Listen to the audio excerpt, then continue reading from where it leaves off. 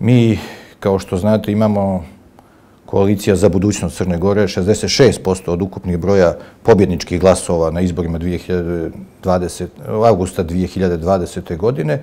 Prema tome, sasvim je, sasvim je, čini mi se, prihvatljivo za sve građane Crne Gore da lider te koalicije, u ovom slučaju jedan od lidera koalicije za budućnost Crne Gore, Andrija Mandić, predsjednik partije koji ima najviše poslanika od pobjedničkih partija koje su u, vla, u, budućoj vladi, bude mandatara, mislim da je i sa svojim djelovanjem ovih 30 godina u politici zaslužio u svakom slučaju da vodi Crnu Goru u ovom periodu koji će biti vrlo težak. Ne vidim ništa sporno ni da bi koaliciji Mir je naša nacija, a i koaliciji Crno na bijelo bilo nešto sporno, a još manje i upitno da se odlučuju o tome koga će demokratski front predložiti za kandidat.